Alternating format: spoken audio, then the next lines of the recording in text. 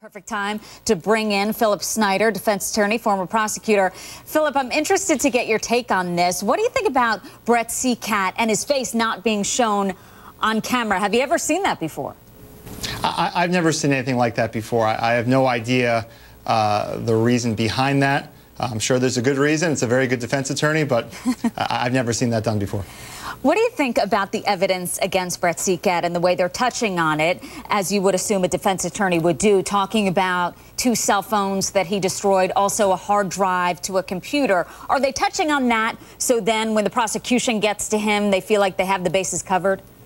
I guess sometimes you try to dampen the evidence against them, but you know, as watching this trial, the state has shoveled, shoveled, mm -hmm. tons of evidence against him. Dirt is on top of him. And it sounds right. like the defense attorney is just trying to claw his way out with a little tiny baby spoon. I'm not really sure his procedure going on here. He needs to go strong and fast, attack the major issues in this case. How damaging do you think that suicide note is? I guess if you believe that his wife wrote it, you think that she killed herself. If you think he forged it, you believe that he murdered her. Uh, so that's really a big part of this case and proving it either way. You know, that was the one out that he had was to hopefully show the jury that she wrote that suicide note. And then you hear that the expert they hire isn't even certified. Oh, my God. who's doing the vetting process for the defense team? That's the expert you hire? Someone who's not even certified or licensed? Crazyville.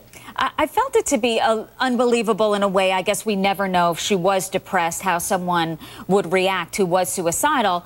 But to say in the suicide note how much she loved her two boys and then to go ahead by his account to burn down the house with the boys inside didn't really make sense to me.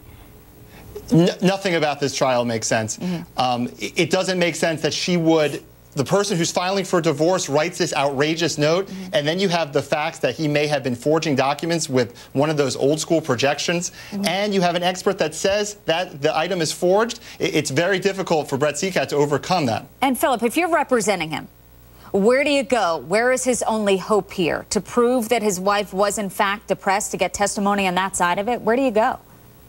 You know, every defense attorney has their own plan. That wouldn't be my plan. Mm -hmm. You hope Brett Seacat takes the stand. You hope he comes off as emotional and contrite and sad and emotional. And right now he's coming off as Kenny Bania to make a Seinfeld reference. He's telling flat jokes. He looks dull. The jury is not interested. He's on a sinking ship. If he doesn't turn it around soon, he's going to be in jail for the rest of his life.